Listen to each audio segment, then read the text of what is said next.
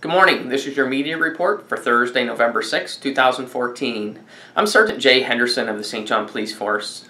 During the last 24 hours, we have responded to 111 calls for service. We would like to hear from anyone that has any information that can assist us in any of our calls or investigations, and we can be reached by telephone at 506-648-3333 at our email police at saintjohn.ca or if you wish to do it anonymously you can do it through the provincial crime stoppers at 1-800-222-8477 or on their website at crimenb.ca. Yesterday at 11:45 a.m. we arrested a 29-year-old female who was wanted by our department for several outstanding fraud related files. She has since been released on conditions with a future provincial court date facing theft and fraud charges. At 11:45 a.m., our North End patrol responded to the report of a break, enter, and theft at a residence off of Cranston Avenue.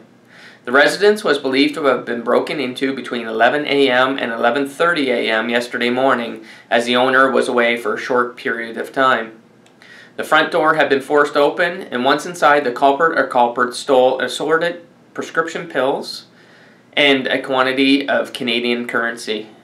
Our forensic unit was called and processed the scene. Our patrol division is continuing to investigate this file.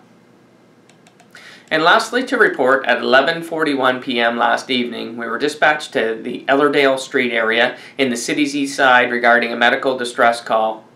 When our officers arrived, they discovered a male who had been assaulted by several males in another vehicle who had forced his vehicle to stop by cutting him off.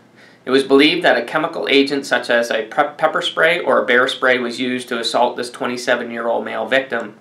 The victim was transported to the Saint John Regional Hospital by ambulance and was treated and released.